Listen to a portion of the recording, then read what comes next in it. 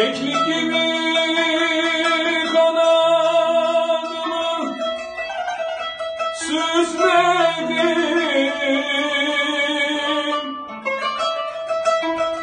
Murad alıp doya doya gezmedim.